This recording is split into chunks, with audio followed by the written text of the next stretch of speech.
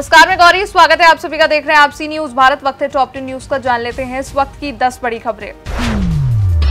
आरक्षण के साथ सरकार ने खिलवाड़ किया, संसद में बोले अखिलेश यादव।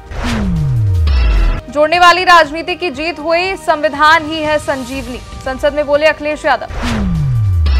एनडीए की बैठक में बोले पीएम नरेंद्र मोदी, देश सेवा प्रथम दायित्व। राहुल गांधी ने सभी हिंदू समाज पर कोई भी गलत वक्तव्य नहीं किया, बोले Sanjay Raut.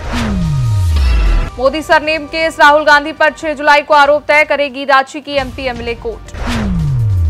Gujarat Rahul Gandhi के बयान पर बजरंग दल का विरोध, पोस्टर पर पोती कालिक। पाकिस्तान में तीन महीने के अंदर हिंसक हमलों में हुई 380 लोगों की मौत, think tank report.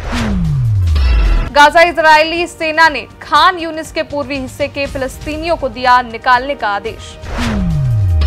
मानहानि केस में राहुल गांधी को आज कोर्ट में होना है पेश। अमित शाह पर टिप्पणी से जुड़ा है मामला।